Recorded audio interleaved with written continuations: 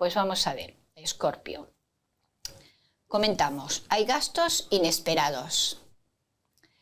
Debes ser más paciente porque las personas que te rodean te van a demandar más atenciones de lo normal. Así que vigila el uso de tu dinero.